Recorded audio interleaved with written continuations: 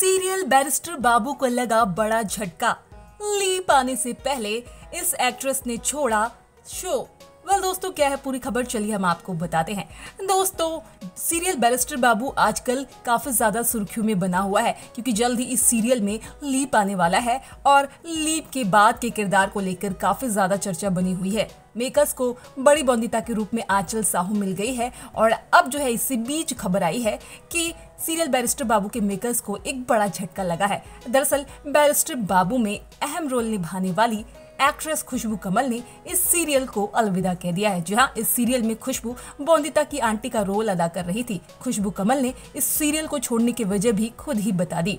खुशबू कमल कहती हैं, वो पर्दे पर 20 साल की लड़की की माँ का रोल तो अदा नहीं करेंगी। अगर आप सोच रहे हैं कि खुशबू कमल के इस फैसले से मेकर्स का काम भी बढ़ जाएगा तो ऐसा बिल्कुल नहीं है। मेकर्स ने खुशबू के किरदार को सीरियल में मारने का फैसला ले लिया है। एक इंटरव्यू के दौरान खुशबू कमल ने कहा कि मैं इस शो का हिस्सा बनकर खुश थी और मुझे सुकून है कि मेकर्स इस बात को समझ पाए कि मैं इस शो को क्यों छोड़ रही हूँ।